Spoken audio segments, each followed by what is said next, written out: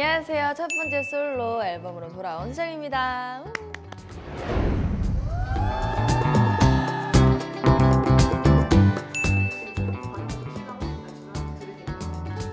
안 그래도 이제 제 가족 애- 가족분들은 애청자시잖아요. 그래서 가족분들이 단톡방이 시끌시끌한 거예요.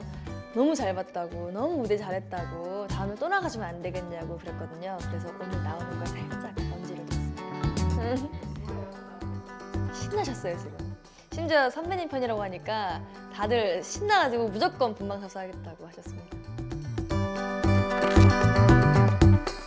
오늘 준비한 곡은 주현미 선배님의 또 만났네요 입니다. 또 만났네 또 만났어 야속한 그 사람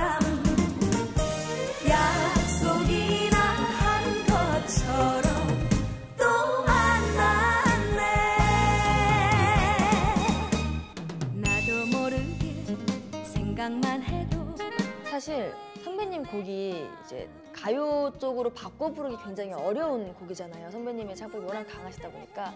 근데 또 만났네요는 적당히 뭔가 섞어서 부를 수 있을 것 같은 느낌이 드는 거예요. 그리고 밝고 경쾌한 느낌도 잘 살릴 수 있을 것 같아서 저는 이 곡이 좋았어요.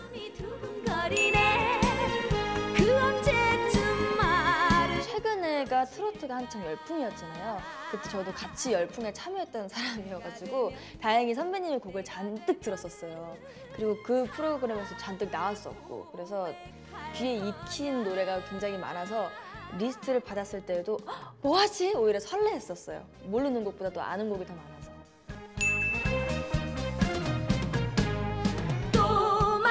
제 옆자리더라고요. 그래서 오늘 하루 종일 케미를 잔뜩 보여줄 예정입니다. 혼자 나와서 외로웠는데 같이 나온 만나 저희가요 헉, 맞붙게 되면요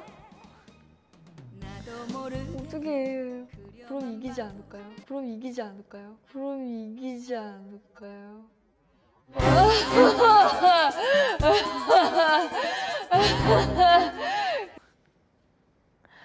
어떻게 그럼 이기지 않을까요?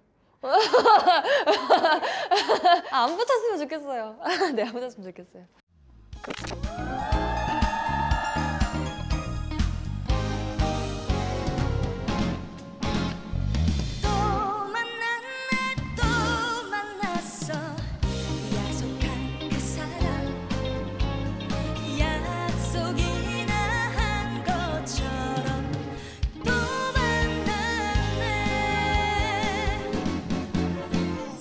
재밌게 무대 준비한 만큼 즐기고 오도록 하겠습니다. 많은 분들 제 무대 기대해 주세요.